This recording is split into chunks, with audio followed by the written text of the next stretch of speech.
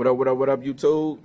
Mr. 300 Vapes back at you again, man, with another review. And today we're checking out the Upside by the Schwartz. Uh, tell you a little bit about this juice, man.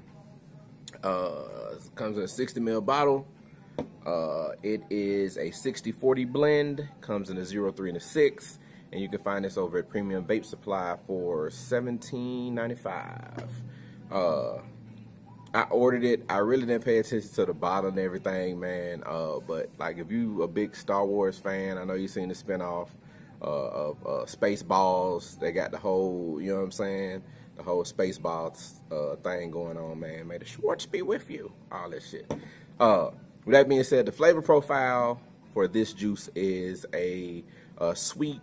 I think it says sweet chunks of strawberry in a uh, cup of yogurt basically it's a strawberry yogurt blend, man.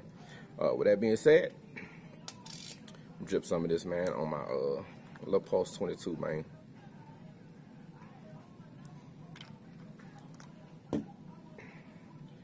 Yeah, man. Uh, shout out to Tyler Tango, man, for recommending this juice. He recommended another one too, man. I'm gonna uh, do a review on here directly. Hold on.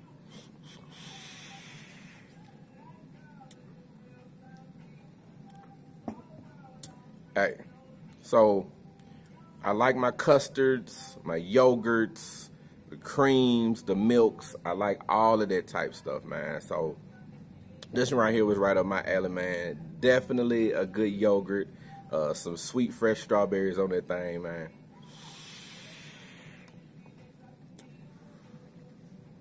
It's a good one, man. Definitely a good one. Uh, I would recommend you go check out, man. If you into yogurts and custards and all that stuff, man, this definitely one, you know, you might want to check out.